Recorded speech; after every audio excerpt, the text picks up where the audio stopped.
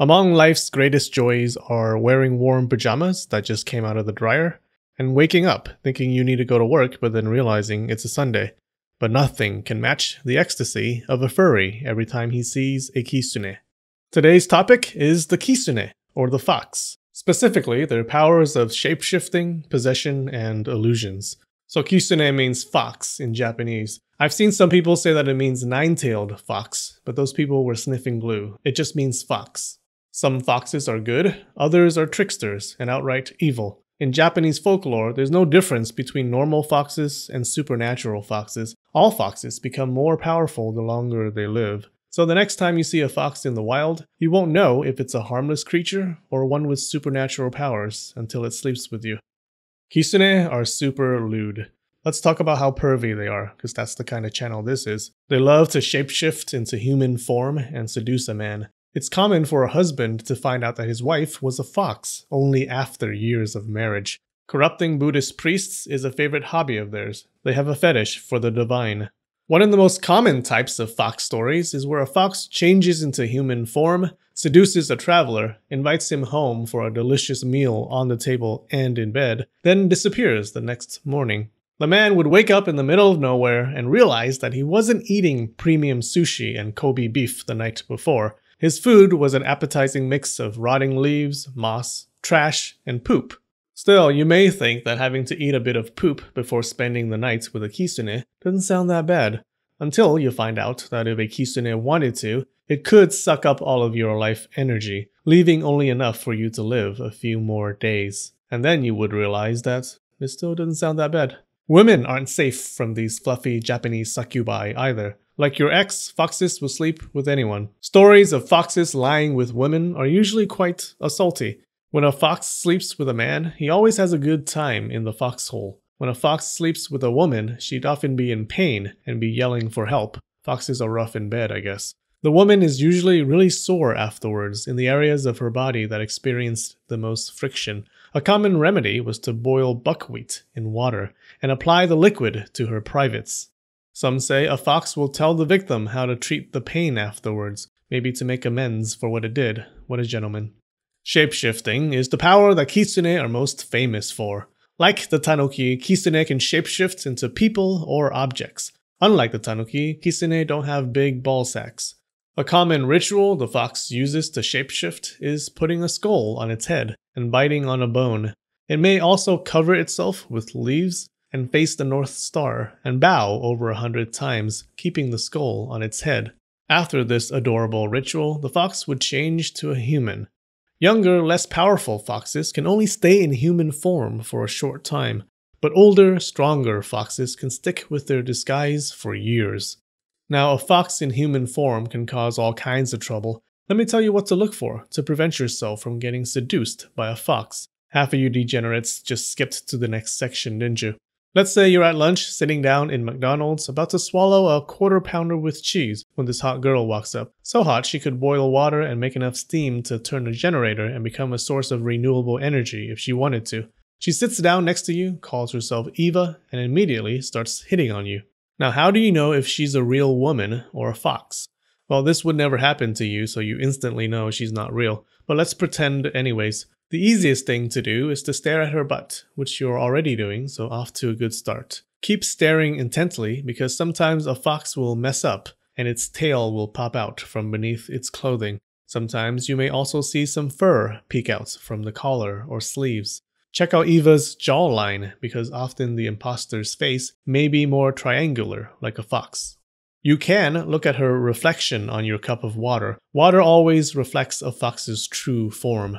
Listen closely to her words. It's hard for foxes to say certain words, like moshi. They say this is why people in Japan answer phone calls by saying moshi moshi. The practice started because people wanted to make sure the person on the other end wasn't a fox. This is a very popular explanation for the origin of moshi moshi, so I can safely say that it's 100% BS. Another thing you can do is grab a nearby dog and have it sniff Eva. Foxes are terrified of dogs. Dogs can sniff him out. A dog's bark may be enough to scare the fox out of its human skin. One awesome story told of a woman who realized that her lover was a fox when she saw that his manhood looked like a fox's manhood. Good for her, but now I'm concerned about why she was so familiar with fox dicks. What I'm saying is check Eva's manhood. Another power that Kitsune have is possession. They can invade your body and possess you like a ghost. In ancient times, fox possession was seen as a real disease. A fox can enter your body through the underside of your fingernails or through your breasts. You know, I was having a good day until I discovered that fact, and then I had a great day. So you can guard against possession by wearing gloves or not having breasts. This is why Asian women don't have breasts, for protection. A person possessed by a not so powerful fox will act really crazy. They will run around and yell weird things like, let me eat tofu. Tofu is one of the fox's favorite foods. But if a really powerful fox possesses someone, it wouldn't be as obvious. The victim would sometimes seem normal and sometimes seem weird, like they would have weird habits. These include eating only food that foxes like, staying away from people, only hanging out with dumber people, not allowing anything to touch their armpits, which doesn't seem that strange, and hiding hair in strange places around the house. They really do all manners of strange things. Supposedly, the victim can hear the fox inside them and can get into fierce internal arguments. Were these cases of fox possession in the old days mostly just cases of mentally ill people?